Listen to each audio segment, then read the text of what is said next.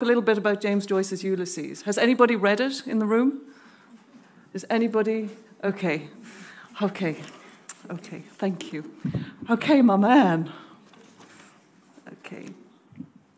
Thank you, Nora Barnacle, uh, for your voice in Ulysses and for giving us Bloomsday. I trained as a painter and I looked at many paintings. They were all images on surfaces on linen fabrics, and it seemed to me that images hid as much as they revealed.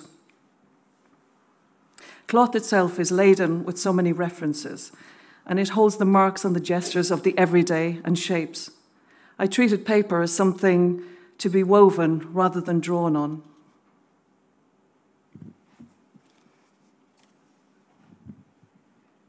Chance, James Joyce once said, furnishes me with what I need. I am like a man who stumbles about, my foot strikes something, I bend over, and it's exactly what I want. And that's how he met Nora Barnacle. And that's what made Bloomsday. I then began to work with history and to invite it into my fabrics and to reintroduce paint touches. I started to look at my own history and the landscapes that I had grown up with in Ireland. I began to understand how much we embody history in its entirety and how we have our own internal landscapes. Some of the landscapes look like this very beautiful, wild, and full of life and mischief. This is a bogland landscape from County Longford in the Midlands in Ireland. I began to understand the context of nationality and how it affects the landscapes around us. I began to look at the Irish famine. I began to understand the weight of history through my own body and through going back to visit the first road that I ever walked on out of a small village in Ireland history did start to become a nightmare, which is something James Joyce decided to. I began to see a distance, at a distance, how radically we change our world, and we can erase truth or embrace it. I began to see it in the landscape that was so familiar that I grew up with, and I began to see it in myself and in my family and in the Irish community and in behaviour and in attitudes and in being. I began to see it through travelling from one country to another. I began to understand this is my body. I began to understand that this is my world. I began to understand that I am nature. And then I began to fear the truth about my body, about nature, and about our world. And I began to shrink and to flee and to not know what to do. And I began to worry and to fret and to cry and to hope alone. And then I began to read Ulysses. And thank you, Nora Barnacle, for your voice in Ulysses. Because then I began to use my body to see.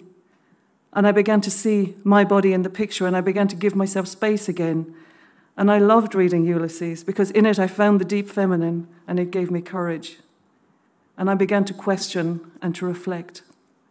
Thank you, Nora Barnacle Joyce, for walking down Nassau Street on the 16th of June 1904 and for saying yes to James Joyce. And thank you for meeting James Joyce. And thank you for falling in love with him and for being the voice in his work, for giving him the voice that he did not have before. He was always a genius, but he didn't have the deep feminine in his work. Thank you, Nora, for your two children, for being a mother. Thank you for staying with James Joyce and for writing to him letters that are now regarded as dirty Thank you, Nora, for your honesty and understanding that would help so many of us to reach our truth. You put love into the world in Ulysses. Ulysses is first and foremost a love story, and the 16th of June 1904 is the day that they first met and went out together. Thank you, Nora, for daring greatly. Thank you for leaving Galway without as much as a goodbye, and for stepping out of your and into your power and rewriting history of your own.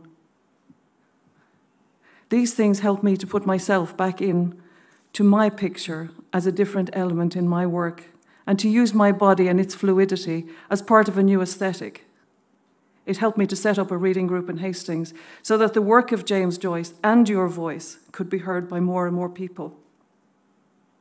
There are many other women too in James Joyce's famous Ulysses, most notably this wonderful brave woman called Sylvia Beach, who actually was the first woman that published the work in the first place, when nobody else would touch it with a barge pole because it was so full of obscenities, and Harriet Weaver, who actually was his patron for many years.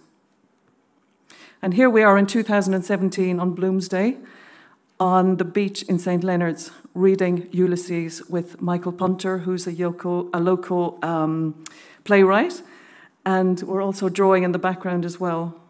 So, still on the beach in Hastings, Ulysses gave me ways at looking at ourselves creatively and exploring our world with a deep feminine voice. That's not just for women, it's for all of us. And Nora, I also want to say I'm sorry that you had to bear watching your only daughter suffer with mental illness. This is Lucia Joyce. She was a wonderful, talented dancer, and she's almost been eradicated out of the history books because she had what we now understand was probably bipolar. And Nora, I will never judge you as a mother. It must have been horribly painful. So, gender fluidity and equality is what our young people aspire to today, for every day and for all humanity. And Ulysses is a good place to start because that's where a lot of this thinking began. And that's why I'm so grateful for the story that put the deep feminine back into the voice of Joyce. And this is my moment of gratitude to Nora Barnacle for Ulysses and for daring greatly and for changing the script for James Joyce and for all of us.